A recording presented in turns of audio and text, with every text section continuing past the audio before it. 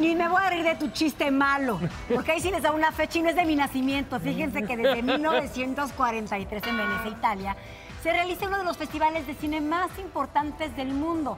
Y los Hermanitos Madrazzo nos tienen lo más destacado de los últimos días. ¿Qué aconteció en este maravilloso lugar?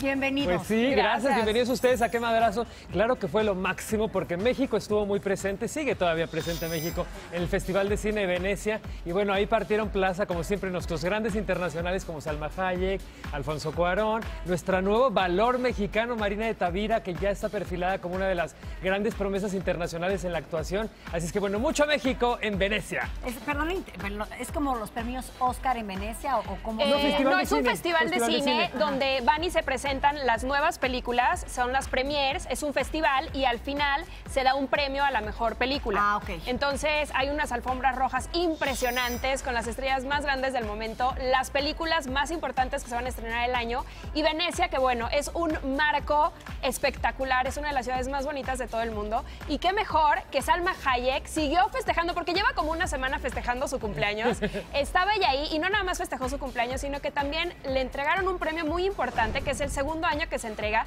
que es el Franca Sosani. ¿Y eso qué? Esto Franca es Sozzani, bueno, les hago ahí un paréntesis. Franca Sozzani murió.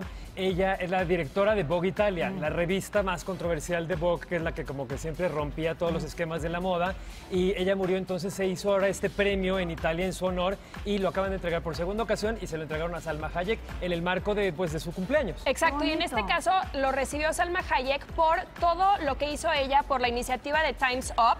Eh, premian a mujeres que están destacando, apoyando a otras mujeres, el altruismo. Y bueno, aquí está justamente recibiendo el premio. Bravo a Salma Hayek, porque la verdad es que ha abierto muchísimas puertas para todas las mujeres maltratadas eh, de acoso sexual. Y bueno, pues aquí está uno de los resultados. Bueno, mismo que también ella lo ha padecido y lo dijo muy en alto, así es que es muy importante este precedente que marcó, sobre todo también por todas las mujeres latinas, ¿no? Claro, Exacto. desde luego. ¿Quién más estaba Y bueno, por te voy a decir el equivalente, lo que tú preguntabas, el equivalente a este festival aquí en México sería el Festival Internacional de Cine de Morelia. Ah. Exacto. Ok, en Francia sería el Cannes, Cannes. ¿no? O sea, el premio de, de Cannes. Digo, el En premio Berlín, del- en Alemania, el el- cine- la Berlinale. la Berlinale. Entonces, sí, son los festivales de cine. También, por ejemplo, existe Sundance a principios de año en Utah, Ah, en Estados Utah. Unidos. Son los festivales de cine que son parteaguas, son importantísimos para presentar las nuevas películas. Aquí presentó su gran película esperada, Roma, Alfonso Cuarón, que ya todo el mundo queremos ver. Una película autobiográfica que sí habla de su niñez, de cómo él vivía en la colonia Roma, aquí en México. Marina de Tavira precisamente es su mamá en esta película.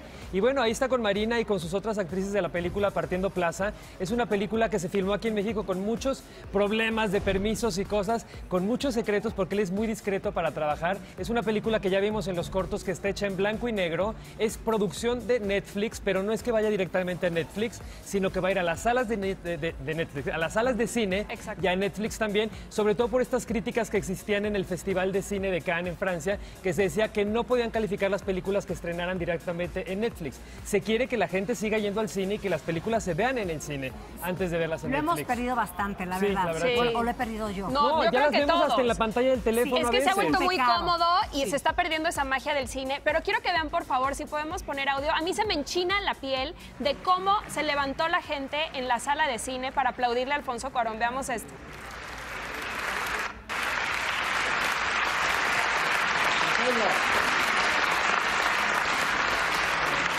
Ay, qué gusto. Aparte Qué también emoción. Guillermo del Toro ha sido el jurado del, del- el presidente del jurado en el Festival de Venecia. Entonces hay mucha presencia mexicana. Siempre cuando son temas de cine, México tiene pues los pies muy bien plantados y la verdad que nos da Bueno, muchísimo pues, orgullo. Después de ver esta ¿Qué imagen me tal? queda claro qué Ay, orgullo. se me enchina la piel, se me Desde enchina la piel. La verdad que, bueno, bravo a los mexicanos que país. están Y bueno, no partiendo faltaron, plaza. no faltaron las alfombras rojas que estuvieron espectaculares y Pau y yo ya tenemos nuestros looks favoritos. Esa parte me gusta. ¿Qué tal? Este momento le ha dado la vuelta, ahora sí que al mundo ya ha roto el internet, porque Lady Gaga llegó de la mano de Bradley Cooper. Déjenme les cuento que Bradley Cooper acaba de dirigir una película que se llama A Star is Born, eh, una estrella ha nacido, donde eh, Lady Gaga es la protagonista. Y bueno, llegaron ellos de la mano. De hecho, mucha gente pensó que eran novios. Eh, por ahí estaba su novia, bueno, su esposa, Irina Shayk. ¿Ya se casaron? La supermodelo. Bueno, eh, tienen un hijo. Bradley, ¿qué Tienen un hijo onda? Tú y yo, ¿qué, qué- pasó?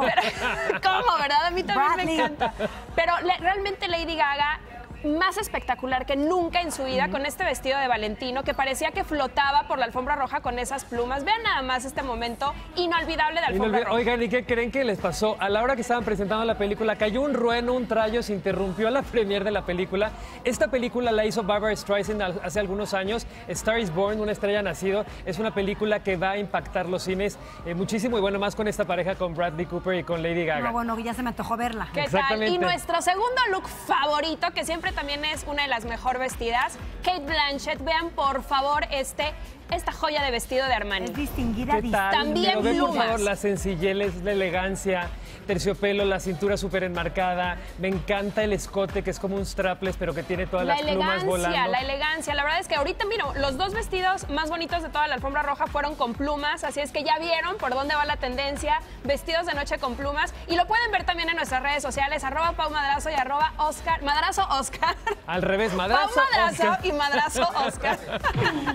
Ellos saben cómo hacerlo. ¿Sabes lo que me gusta mucho? Que cada una en su estilo. Por ejemplo, Lady Gaga se puso un traje de baño con tacones y se fue a dar la vuelta en un vaporeto por todo el agua de Venecia. Y con seguridad y volviendo locos a los fotógrafos. Gracias, hermanitos Madrazo, los quiero. Vámonos a Venecia, Sale el sol, lunes a viernes de 8 a 12 del día. Participa en Imagen Televisión.